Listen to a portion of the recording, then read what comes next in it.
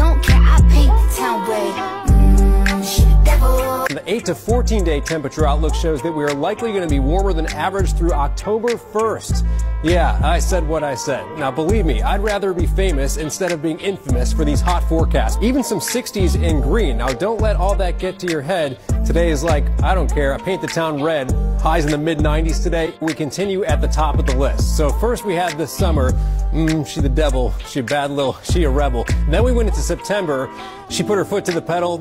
It'll take a whole lot for heat to settle through this week also. You can see the temperatures running in the mid and low 90s.